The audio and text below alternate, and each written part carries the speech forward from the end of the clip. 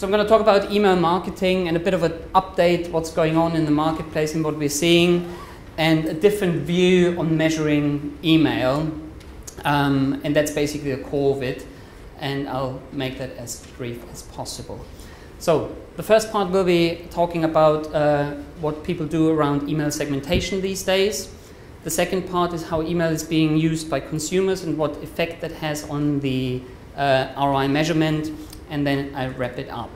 So, segmentation as such. Um, a few years back, clients wouldn't necessarily segment their emails hugely. Um, that has changed. Um, and has changed recently, even between 2012 and 2013. Um, so the email revenue generated more comes more and more from targeted, specific, segmented emails and not just a blanket newsletter that is going on out to, a, to an audience. And that is quite interesting to, to know that this is obviously creating revenue and this is, this is happening in the marketplace. Um, and I don't know how that relates, how that benchmarks to what you're doing, but uh, not blanketing uh, the customer base with emails is definitely something that is happening and that it is successful.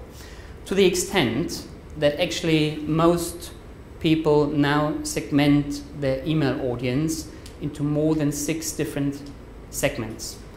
That's quite a lot and has also increased in previous years, but it shows that the targeting is important and that it's not longer sufficient um, to just send emails to a whole database to make it relevant, to make the messaging relevant, um, and to target the right people, as well as you always have done it with the catalogs uh, to target the right people at the right time. It applies to email as well.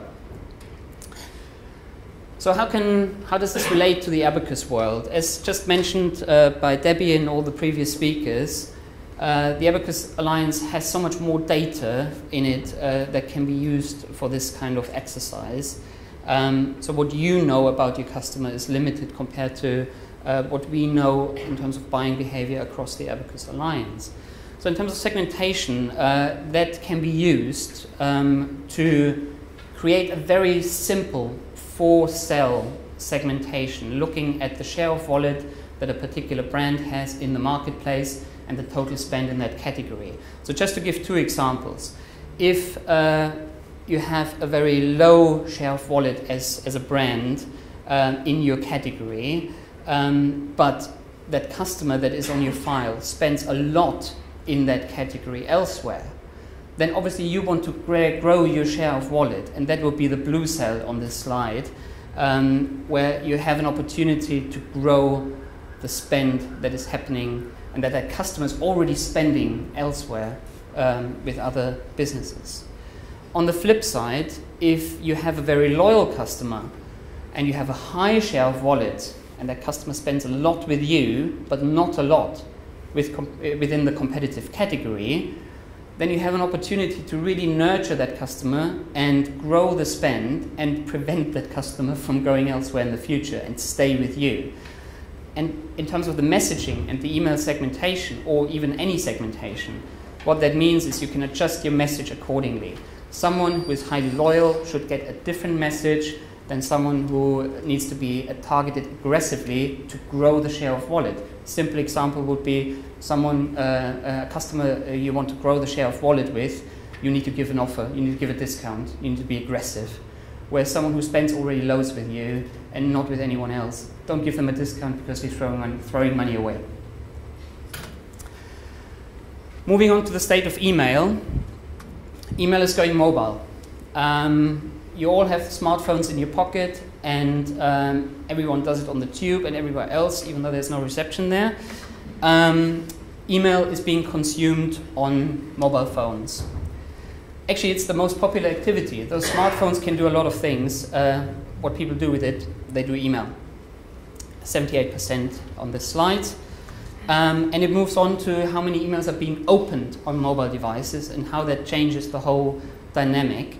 65% um, of emails are being opened on smartphones or tablets versus 35% on the actual desktops. And that has changed massively uh, after the introduction of these mobile devices.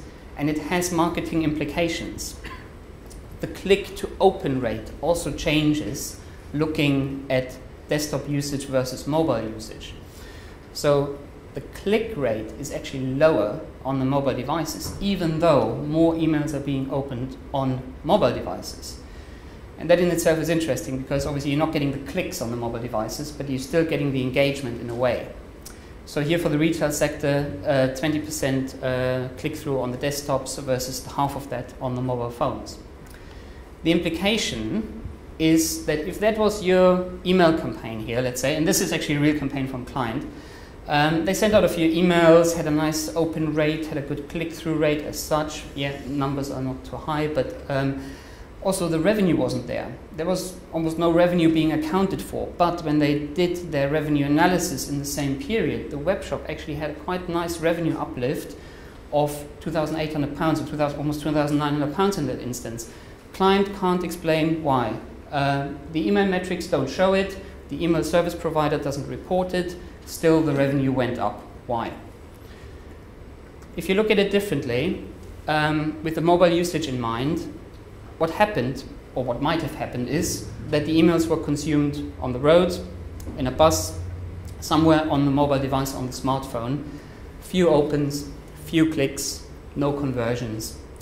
Uh, as the email service provider also has reported, there were only few conversions. However, later on, at a later point in time, actually that transaction happened. And it happened on the PC, it happened back at work, it happened at the computer uh, at home. Um, and it did not happen necessarily through the mobile phone. Even though there's a lot of transactions or, uh, these days already happening on the mobile phones, there's still a tendency to complete the purchase on the desktop. Especially when you look at it from the email campaign, and the email campaign doesn't create the conversion as such as the desktop does. So in terms of measuring response, if we know that, that mobile doesn't really create those clicks and conversions, but it still creates a lot of engagement, what does that mean? This is the classic funnel. You have your open rates, you have your clicks to opens, you have your conversion rates, and you have unsubscribes and opt-outs. Uh, the little table shows the average statistics for the UK, and you can benchmark that, uh, that against what you see, but there are more detailed figures out there. Um, interestingly enough, is that revenue generation, the conversion that you all are after, is actually not uh, always priority and on par or higher is being rated by marketers the brand awareness aspect and the engagement as such. Um, and a few years back, that wouldn't have been mentioned in the context of email, but the study definitely shows here that brand awareness and engagement is as or equally important than revenue generation as such if you talk about email acquisition, which some of our clients do, there's always a lot of talk about the conversion as such, but there are different elements to the email benefits, and creating brand awareness is one of them. But what tends to be forgotten sometimes is that a prospecting email campaign can be used to drive people to sign up to your own email newsletter. And then you can do with that email address whatever you want to because it's, it's your own email program.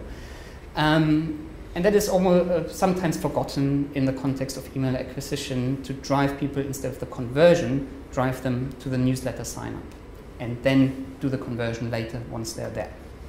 So going back to the email conversion funnel, knowing that there is certain activity happening uh, outside the traditional conversion funnel, uh, we have found that uh, actually only 20% of the overall actions that happen uh, subsequently to an email campaign um, represent the, the conversions as such. And there's a lot more happening around the conversion. So if you look at it this way, you have the total universe of, of email recipients, and you have consumers who opened or clicked, and you have certain consumers who made a purchase. And the opening clicks do not quite accurately portray the success of the campaign if you don't take into account uh, other dimensions than the pure purchase conversion. And that in turn leads to a new set of criteria that you could apply to your email campaigns. So instead of purely looking at open clicks, revenue bounces, and unsubscribes, why not introduce a few other measurements? Added to social media, added to the address book, newsletter sign up I mentioned.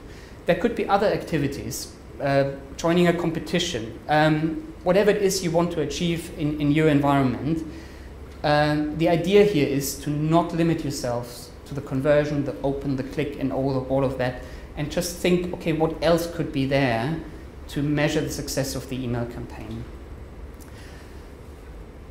How do you do it in the end? Because obviously you get your statistics from an email service provider or from, from some, from some other, other supplier about your open clicks and conversions.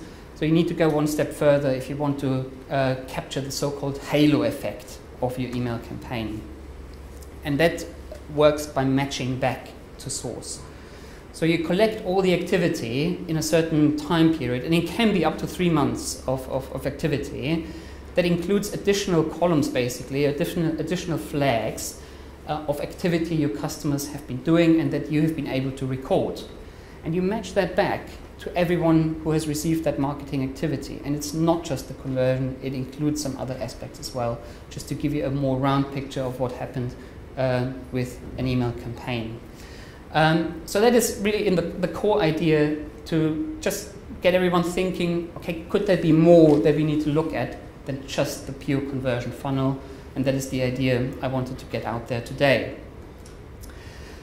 There's another aspect to it which we touched earlier today. Um, obviously, multi-channel integration. Um, direct mail was mentioned as a very important uh, channel to coexist with email, and it has grown in that respect also think how catalog and email works together um, and um, have there been catalog requesters being produced, uh, for instance, through the email campaign, and are you capturing that at the moment or is that a completely gray area?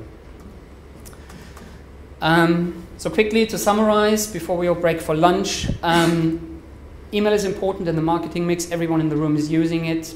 Uh, attribution remains challenging if you have certain activity that's been created, you don't know was it the catalog, was it the email, was it something else.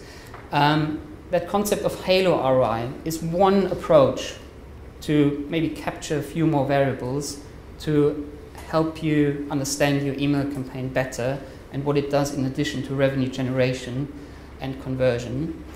Uh, how you do it, you match back um, and if you want to talk about that further from a technical viewpoint, we can help you with that. But basically, really evaluating what, what that whole email universe has been doing. And don't underestimate the, as, uh, the effects of multi-channels or where the catalog works together with the email well. And that's really what I wanted to talk about before we all break for lunch. Um, and if there are any questions, please give us a shout. Um, as I said before, we're going to move everything along 15 minutes, so we come back here at 2 o'clock but happy to answer any questions now if there are any. Okay, time for lunch.